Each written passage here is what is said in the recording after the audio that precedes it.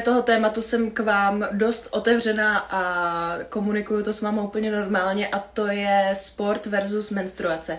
Hodněkrát jsem se vás na to ptala, jestli cvičíte, když máte menstruaci, měsíčky, anebo ležíte v posteli a neděláte nic. Já jsem vám říkala, že já první tak den, dva uh, sportovat úplně nedokážu, protože mě prostě bolí břicho, ale třeba následující jako třetí, čtvrtý den, tak uh, se snažím cvičit nebo chodím běhat a tak, protože to tělo potřebuji rozhýbat a většinou mi to uleví i od bolesti.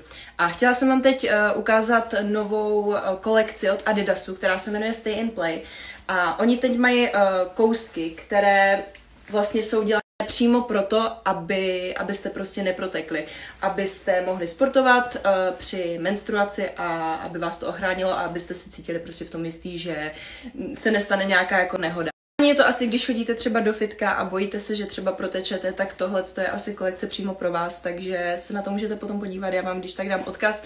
A myslím si, že by se o tom mělo víc mluvit, já se snažím tohle řešit už delší dobu, protože je to úplně normální věc. A naopak mě štve, když jakoby to třeba s kamarády neřeším, protože uh, já třeba když mám jako měsíčka, jak jsem jako taková náladová, naštvaná a občas se mě ostatní jako ptají, ježiš, co ti zase je? A prostě mám své dny a je to úplně normální a buď jsem hypovaná, nebo jsem prostě unavená a takhle se mi to střídá. Někdy mám chuť cvičit, někdy ne, takže prostě jsem vám to jenom takhle jako chtěla říct a že to je úplně normální.